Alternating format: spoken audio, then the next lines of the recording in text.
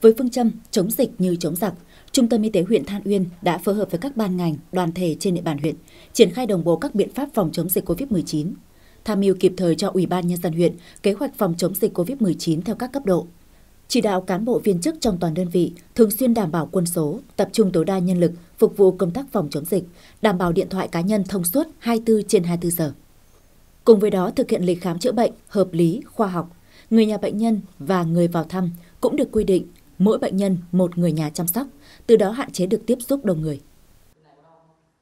Hiện theo sự chỉ đạo của ban giám đốc ờ, trung tâm y tế về cái phòng chống dịch bệnh,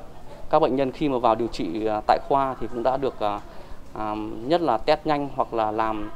cái, cái test PCR để khi mà có kết quả âm tính với cho bệnh nhân vào trong khoa điều trị và khi mà vào trong đây điều trị thì với phương châm là chỉ có một người nhà và chăm một người bệnh thôi Đấy. và khi mà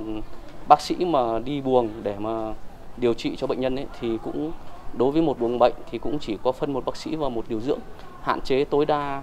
cái, cái số mà y bác sĩ tiếp xúc với bệnh nhân để tránh cái trường hợp mà khi có sự cố mà có ca dương tính xảy ra ít cái cái cái cái ép để tránh cái cái, cái bảo vệ cái nguồn nhân lực của của của khoa cũng như là của trung tâm y tế. Tại trung tâm y tế huyện, thường xuyên kiểm tra giám sát thực hiện tiêu chí bệnh viện an toàn, thực hiện nghiêm việc phân luồng đối với mọi người vào đơn vị ngay từ chốt trực vào cổng.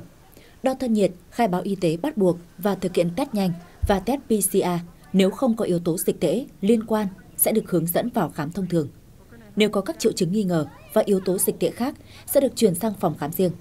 Tại các khoa điều trị, yêu cầu tất cả mọi người đi vào trung tâm phải thực hiện nghiêm khuyến cáo 5K của Bộ Y tế. Tôi lên đây chăm mẹ thì được các y bác sĩ hướng dẫn để sát khuẩn để thực hiện 5K thì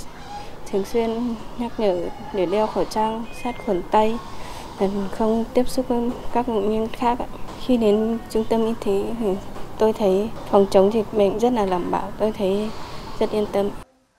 Việc triển khai quyết liệt các hoạt động trong công tác phòng chống dịch COVID-19 của Trung tâm Y tế huyện Than Uyên đã góp phần kiểm soát chặt chẽ các trường hợp có nguy cơ để cách ly, theo dõi, phòng chống dịch.